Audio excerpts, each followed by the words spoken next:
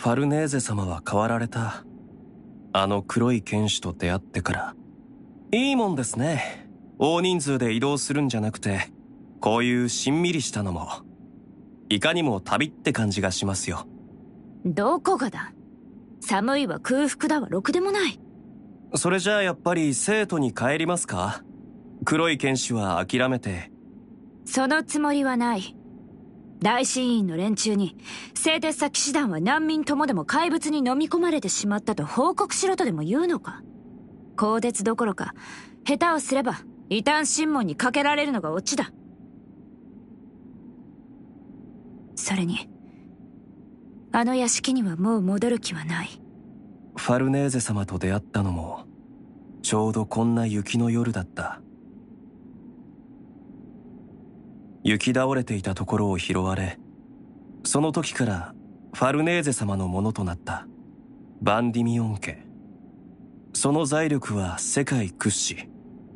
諸国の王家にもその血筋を多く送り込み、絶大な影響力を誇る名門中の名門。しかし親の愛は、娘を物で埋め尽くすことで示され、広大な屋敷で、文字通りファルネーゼ様は、野放しだった。小さな暴君である彼女の常軌を逸した行動は、人を遠ざけた。しかし、彼女は怯えていた。広大な牢獄に放置されて。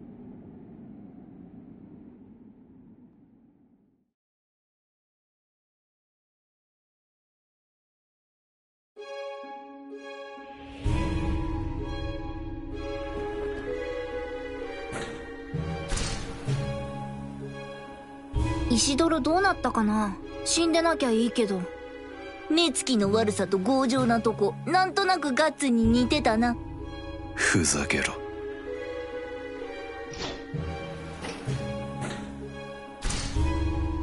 さて追っ始めるか。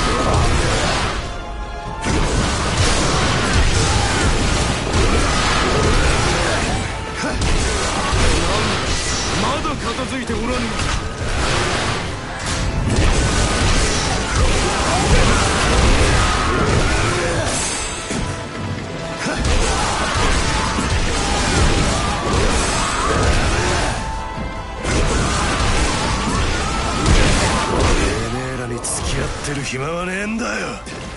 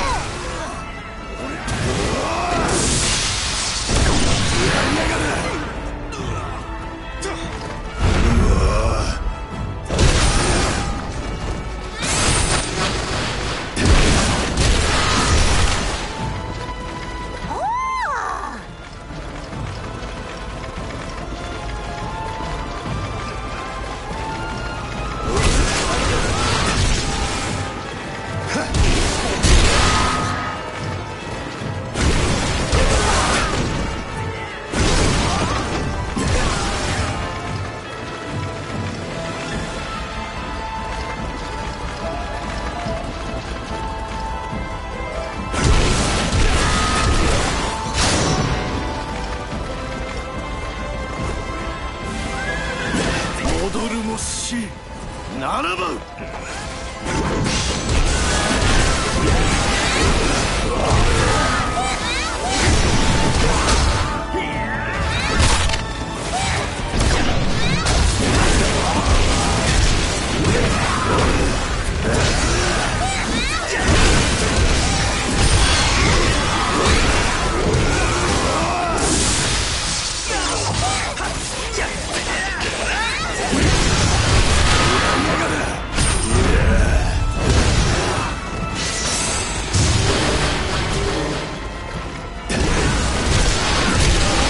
少し粘ってもらいたいもんだな。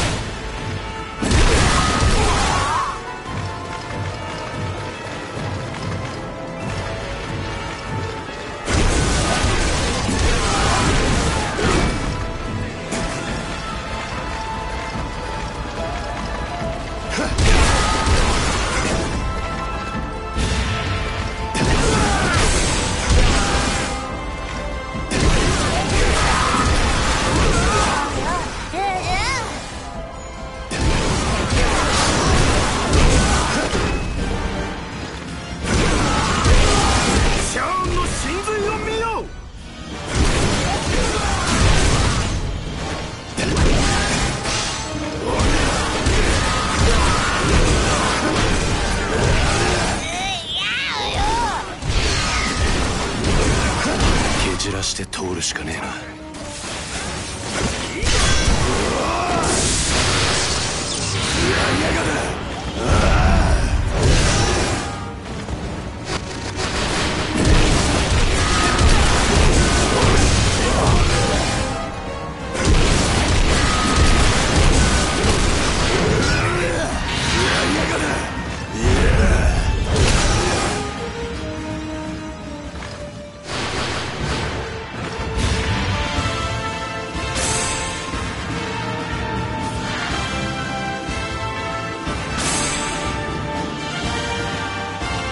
守りきれたようだな。